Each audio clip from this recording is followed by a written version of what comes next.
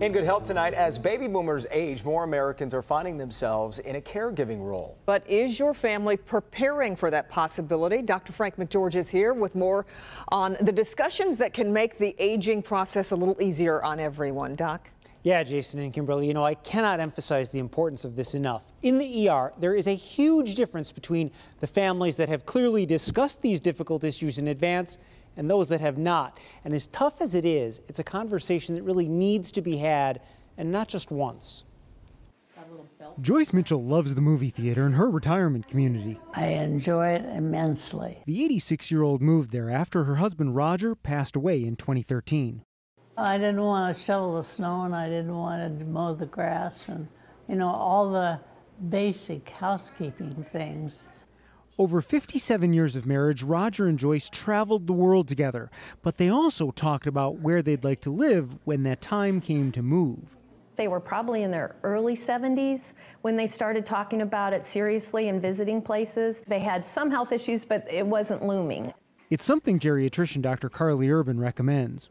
None of us, you know, early on, unfortunately, kind of know what the future holds, but there are certain things that all of us really need to do. It's important to make living arrangements and get your legal paperwork in order before there's a crisis situation.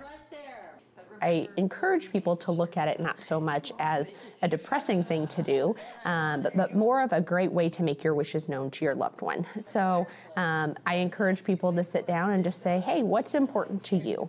Um, what would you like? For the Mitchells, having those discussions paid off. I think she took to it so well and so quick that I never did worry about her here. And I saw her happy. Now, it's not just where an aging relative wants to live. You also really need to discuss what kind of care they want, creating a living will, and discuss any other concerns that are important to them.